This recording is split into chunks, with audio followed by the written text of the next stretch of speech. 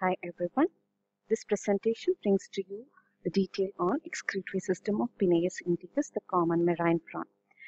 The excretory organs in the case of Penaeus, it is a pair of antennary glands or green glands. Antennary glands, the name has come because the these glands are present in or the, the uh, excretory system, it is present in association with the coxa of the antennae. Okay, so a pair of antennae hence a pair of antennary glands right? So this is the structure of antennary glands. If you look into each uh, antennary gland this is how it looks like. Uh, each of the antennary gland it is composed of four parts. Uh, an end sac which is a closed mesodermal sac and this it is lined with uh, excretory cells and then the next part it is the labyrinth or it is otherwise known as glandular plexus. The end sac communicates with the labyrinth through a very small opening. The labyrinth uh, it is uh, formed of spongy glandular mass of highly coiled and branched uh, renal tubules. The space between these renal tubules are um, filled with uh, what you call the uh, connective tissue as well as blood lacunae okay and each of the renal tubule that form the that is found inside the labyrinth it opens into the end sac through a common opening. The labyrinth it communicates with the next spacious chamber the bladder through a very long highly coiled glandular tubule or glandular tube.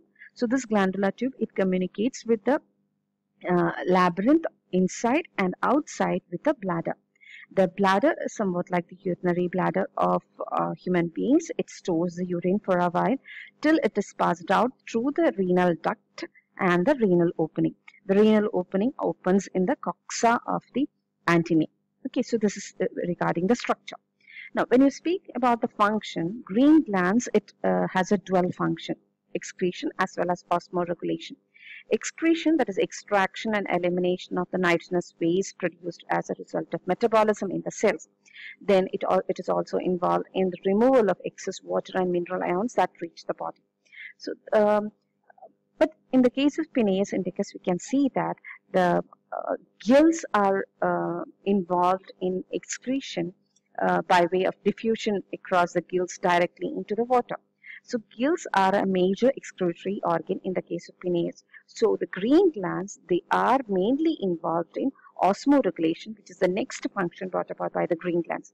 So green glands are, uh, it doesn't mean that green glands are not uh, involved in excretion, but major part of the excretion is taken up by the gills. Now what is osmoregulation? Regulation of osmotic concentration, regulation of uh, water and ionic composition and this will help in maintaining proper volume of blood. Okay, so that particular uh, process is known as osmoregulation.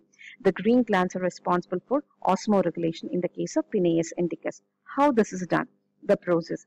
The process of excretion and osmoregulation it takes up it takes place in two steps: the ultrafiltration and selective reabsorption.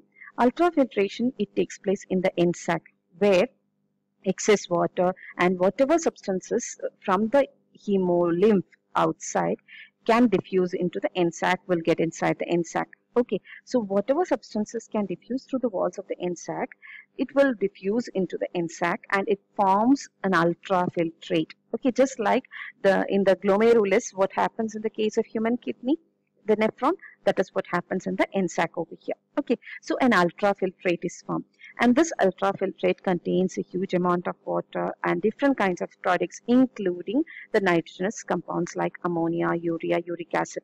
Okay, and this ultrafiltrate is given the name primary urine and this primary urine it will move into the labyrinth. In the labyrinth starts the next uh, uh, step that is a selective reabsorption. In the labyrinth water gets reabsorbed. It is not, the whole water is not getting reabsorbed. Whatever body requires, it is getting reabsorbed along the walls of the renal tubules into the blood lacunae.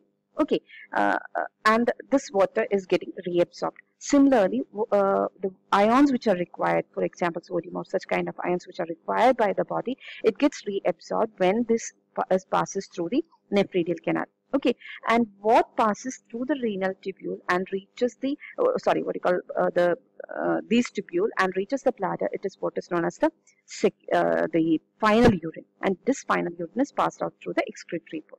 Okay right thank you